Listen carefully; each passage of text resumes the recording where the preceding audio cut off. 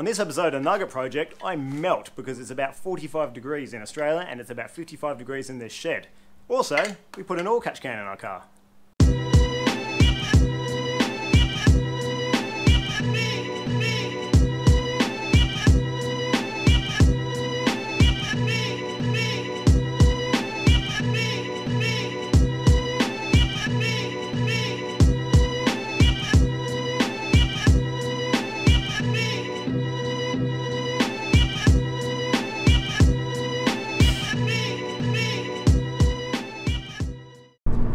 Gang, so we're having an early start today. For anyone not in Australia, we are having a stupid heat wave. It was about 45 degrees at my house yesterday and it was 30 degrees last night trying to sleep. We don't have aircon, so that sucked.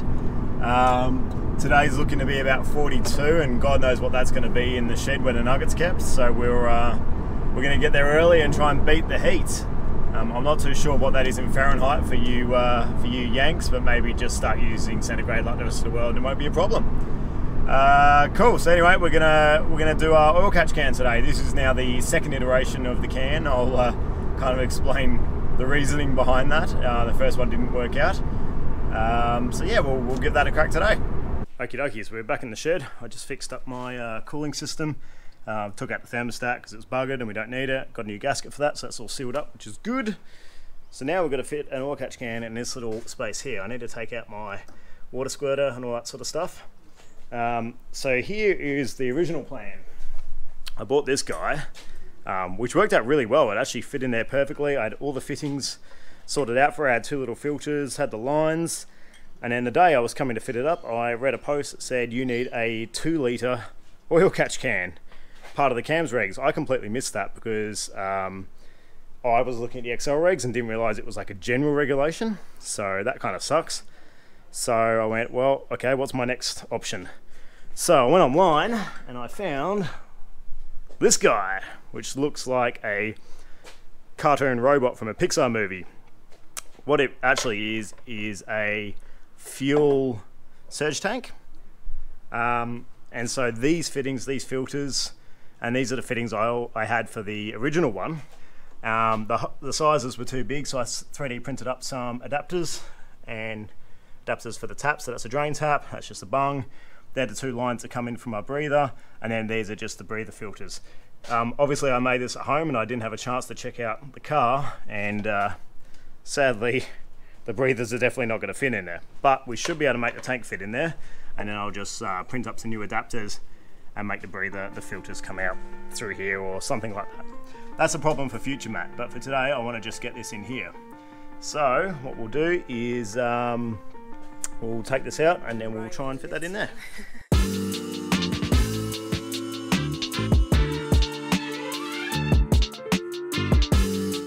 So here's where we're at. So it's a very tight spot, but I think I've figured it out. So uh, I've just taken the filters off for now, and I can fit it in there. The only thing that's um, stopping it is we've got the drain and the and the bung, and that interferes with the power steering line. So what I'm going to do is I'm going to bend the top line up a little bit, and just shorten this hose so it doesn't put stress on the bottle. And that'll sit above and basically the bottom line will sit underneath and the top line will sit above here and they'll both sit either side. And that should fit fine. And then we can just stick a bolt because we've got the two brackets there. So one bracket will bolt straight through there which I can access from inside the wheel arch. And the other one will bolt just straight through here. We can just bolt that down and it'll stay in there. So it's going to be a bit of jiggery pokery um, this side I'm just going to have to blank off because I can't, because the headlight assembly's there, so I can't do much about that.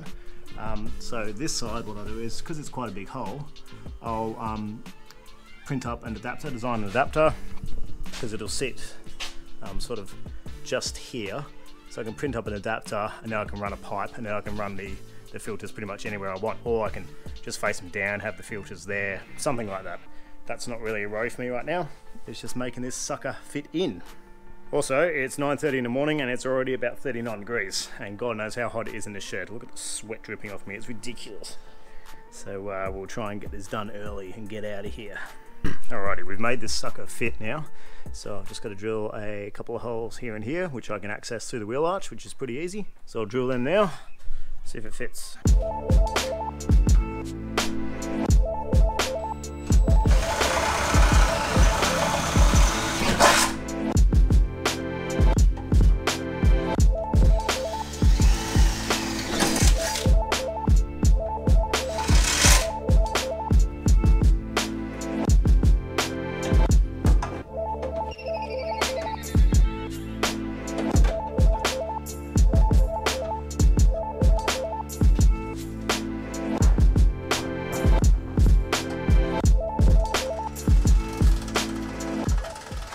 Okie dokie, so she's in. I've drilled a couple of holes and this side we put a spacer just to lift that up a bit. Reason being is I trimmed back the little uh, cooling fins on the headlight since we're not really going to be using the headlight. And we should be able to make a, I'll 3D print another one of these adapters but with a right angle and I'll be able to fit one of the vents just there. Super easy.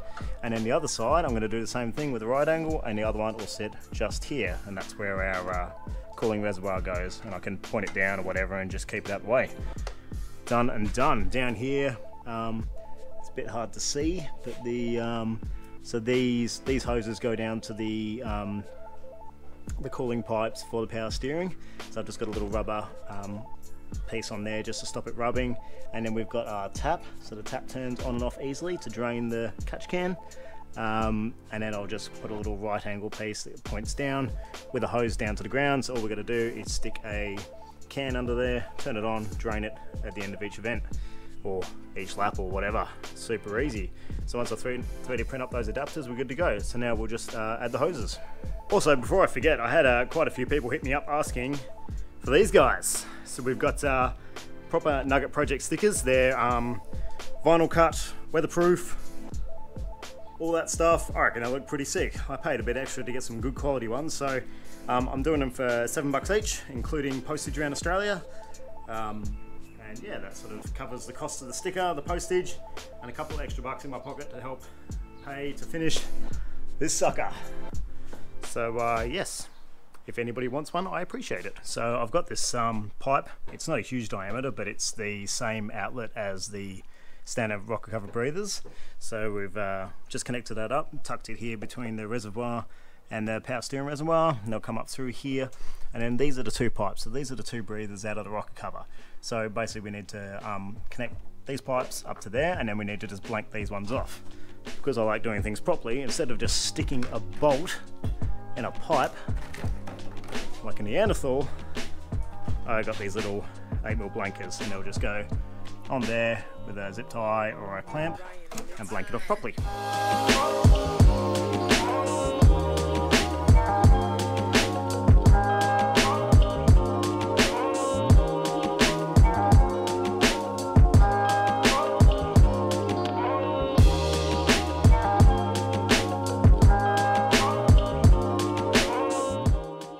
Gang, if you haven't realised by now, I love making stuff on my 3D printer.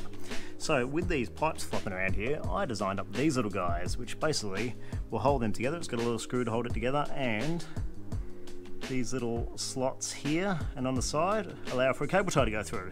So you can clamp it on here and then we can uh, cable tie it to the wiring loom, this pipe here, anywhere else we need to. I know it's overkill, but why the hell not?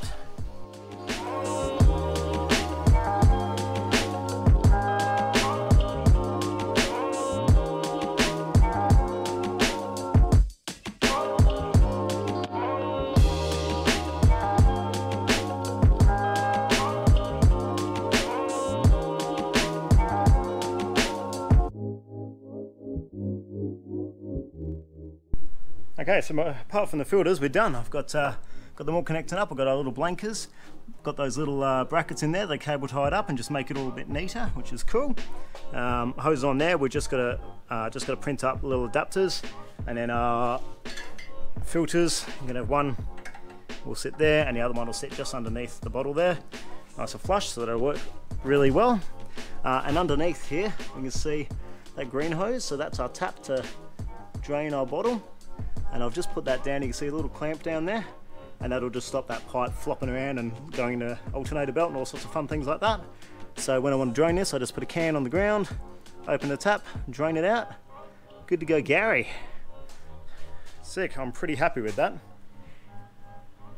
Cool so that's worked out pretty well. Um, I know a lot of you are going to be saying why on earth did you go to so much effort customizing all this crap to fit in here? You know you can buy uh, there's a few companies that make these for the Excel Race Series.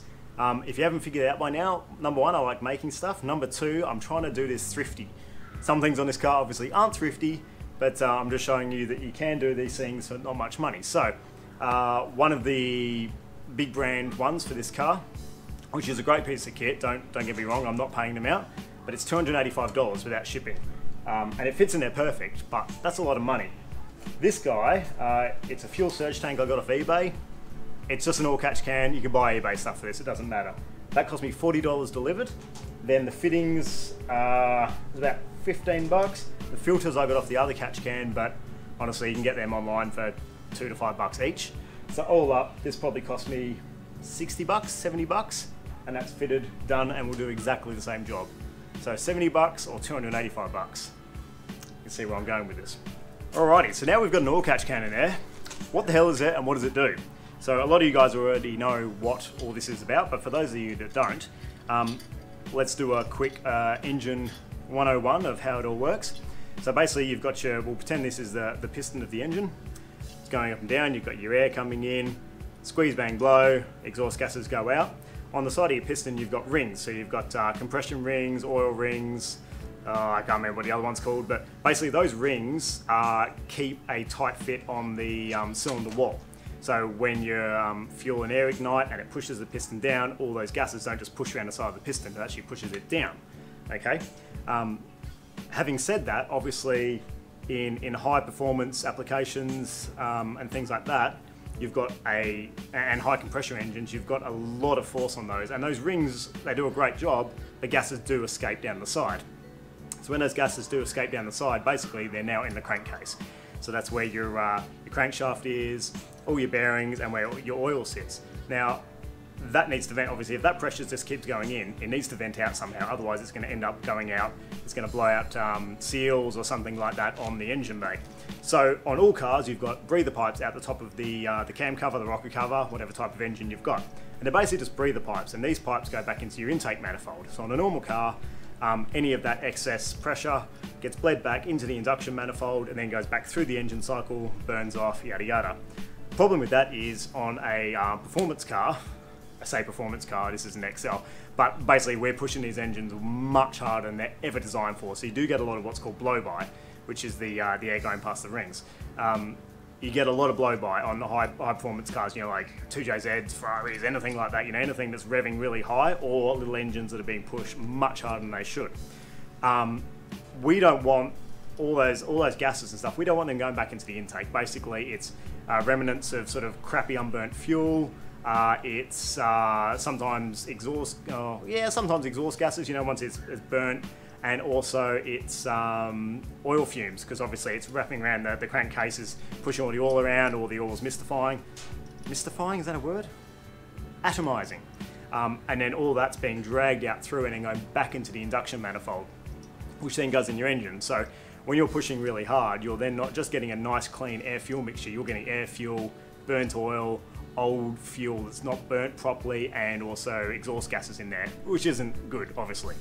Um, so what the oil catch can does, instead of those pipes going back into a breather, basically we just reroute those pipes into an oil catch can. Um, and then we have a breather on the side and that just vents to the atmosphere, but all the oil and all that stuff gets caught in the can and then the excess air just goes out to atmosphere. Um, on a road going car, you do legally have to put that back into the intake, which is fine. So basically, oil and crap catches in there, and then just the clean air goes back into the intake. Um, race cars, you don't need to do that. You can just run a vent vent to atmosphere, that is fine. So hopefully that makes sense. That's why you need an oil catch can. And on things like this, um, we will see a lot of oil. You know, we'll, we'll get a lot of oil in this thing. Um, we'll need to drain out, and then you need to obviously check your oil level to make sure it's all it's all clean.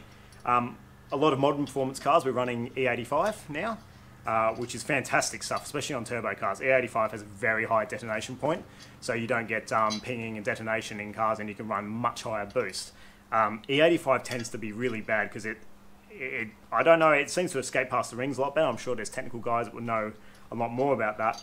But it also um, doesn't react well with the oil and it can really damage the, uh, the oil in the engine. And you'll see uh, E85 performance cars, you drain the, the catch can after a few laps on a track and seriously you just get crap coming out of it. Um, so an oil catch can is super important for that, otherwise that crap's going straight back through your intake. And on a turbo car, that's going through your intercooler as well, uh, which cools in there, clogs it up, it's all gross, you know. Stuffs up sensors and all sorts of stuff.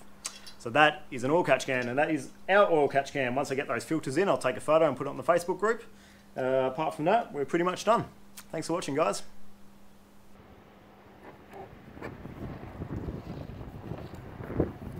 Ugh, Nugget Project stick on the old man's car. nice.